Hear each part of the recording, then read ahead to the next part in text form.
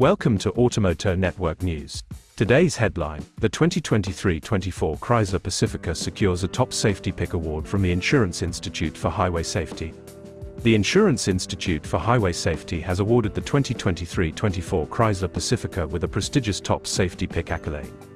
To meet the top safety pick criteria, the Pacifica excelled in various crash tests, earning good ratings in the driver side small overlap front, passenger side small overlap front, and original moderate overlap front tests.